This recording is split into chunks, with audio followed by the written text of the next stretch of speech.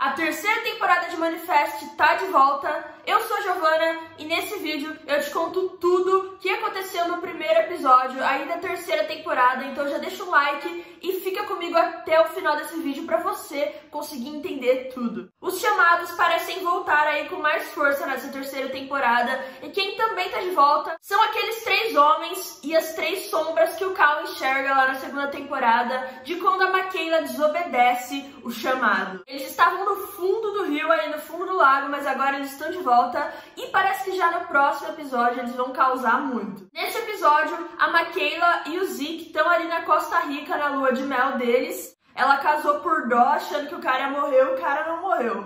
Mas essas férias são interrompidas porque a Makayla, o Cal e o Ben tem o chamado. E a Makayla e o Zeke partem atrás de uma passageira que, em teoria, mora ali na Costa Rica. E eles passam o episódio inteiro procurando essa tal Angeline, que no final os pais dela prenderam ela em um porão ali da casa dela por achar que ela tava ficando louca com os chamados e eles acabam resgatando ela. O Ben tá em Cuba perseguindo mais um chamado aí do Cal que leva ele aquele barco que a gente viu ali no último episódio da segunda temporada, que encontrou uma parte da asa do avião. Ele tá ali acompanhado do Vance e quando eles finalmente conseguem ali pegar a asa do avião, pôr no caminhão, eles já estão saindo de Cuba. Os oficiais lá de Cuba co começam a perseguir ele. O Vance faz com que o Ben e o amigo dele ali, o ajudante do Vance, fujam com o avião, mas o Vance acaba ficando para trás e sendo preso junto com a asa do avião. Resumindo, não serviu de nada essa missão aí. Eu quero saber por que, que o Vance não mandou o capanga dele, o ajudante dele, ficar para trás para segurar o cara. O cara era dispensável, tipo, o Vance estando solto e fugindo com o Ben, ele vai voltar para salvar o, o amiguinho dele, o capanga dele. Agora não, o Vance ficou lá para trás. Ah, por favor, né? Ai, ai, essa Senvi, o que falar dessa Senvi, né? Passar o paninho aqui pra ela, dona dessa série. Não fez muito nesse episódio, mas só de aparecer lá já tava lacrando, arrasando tudo. E ai, ai, esse Jared, né? O que falar desse Jared? Meus paninhos para ele ainda estão disponíveis. Durante esse episódio, ele acaba se encontrando com uma menina que alega ter perdido a sua filha. Ele vai na delegacia para procurar a Maquila ou alguém que ajude ela. E a gente descobre o quê? Que a menina é filha da Major.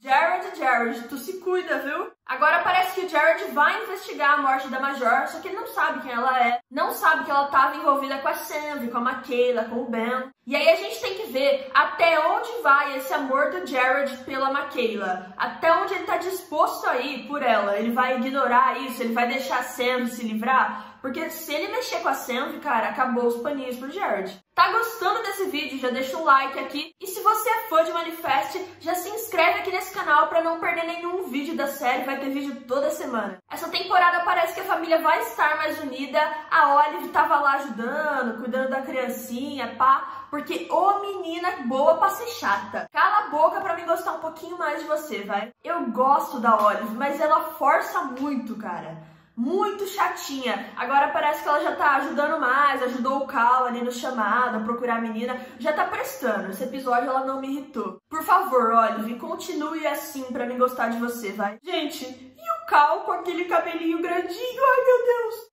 Muito fofinho, cara. A Grace também não apareceu muito nesse episódio, mas também não fez muita falta. Parece que ela vai aparecer no próximo episódio. Ela apareceu aí no trailer do próximo episódio. O trailer do próximo episódio tá bem da hora. Se vocês curtirem muito esse vídeo, eu trago aqui uma análise do trailer do próximo episódio. No final, todo mundo volta para casa, menos o Vance, e eles trazem junto a Angelina, que vai ficar ali na casa do Ben da Grace por um tempo. Agora me incomodou um pouco essa Angelina. Eu não sei se o roteiro foi muito rápido no episódio, mas ela não me passou confiança. Eu não sei até onde a gente pode confiar nela. Não sei até onde ela vai ser uma boa personagem, uma personagem que vai ajudar aí o pessoal, ou se ela pode ser do mal, ou fazer alguma coisa ruim. Eu não sei. Me conta aqui nos comentários o que você achou desse episódio, o que você acha da Angelina e eu vou deixar outros vídeos aqui do canal para você assistir. Muito obrigada por ter ficado até aqui, tamo junto, é nóis e fui!